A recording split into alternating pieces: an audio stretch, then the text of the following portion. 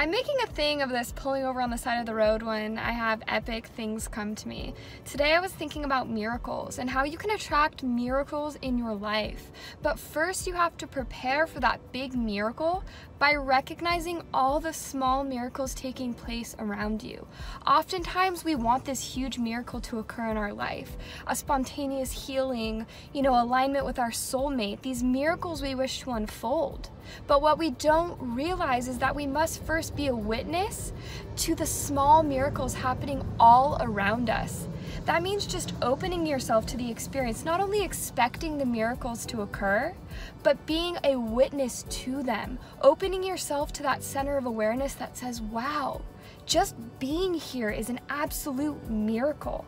Having a conversation, you know, sharing myself and a good smile with a person at the grocery store, witnessing the sunset, being able to see colors and taste food, and all of these small miracles occurring in your life every single day.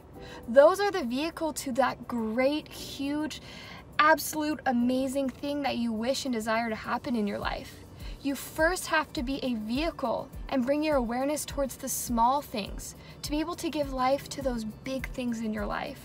You know, I was up at the top of Haleakala Mountain last night, which is this huge crater. It's this inactive volcano in Maui. It's incredible. If you come to Maui, I highly recommend checking it out. And it was beautiful. And I was sitting there and I was watching the sunset with one of my friends. We were eating dinner. And I was thinking about being a vehicle in recognizing the miracles as they're before me. A sunset doesn't just need to be a sunset.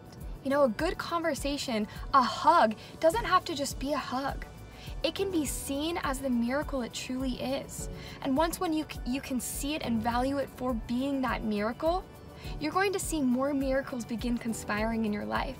Where energy goes, energy flows. And if you want more of something, if you want to radiate more kindness, more love, if you want spontaneous healing and huge miracles to occur, it's about finding those small things. Those small things are where all the joy, all that bliss is in your life, and you'll begin creating more and more and more and more.